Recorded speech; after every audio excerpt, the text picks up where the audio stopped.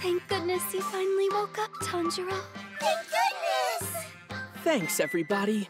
Concerning Mr. Inosuke, how long do you think he was on the ceiling?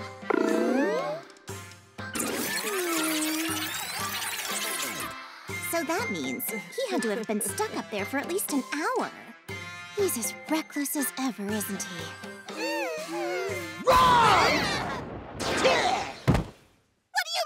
Wrong? I was hiding up there since yesterday. What? Wake up! Come on and wake up, Kenpachiro! Open your eyes already! How long are you gonna sleep? That's what you were doing up there? I guess. That means Tanjiro had no choice but to wake up. I guess so. Thanks to me, he's awake! That's right. Thanks, Inosuke. Next, episode 2, Yoriichi Type Zero. I'm going to give it my all. You have my word. Don't even think about making me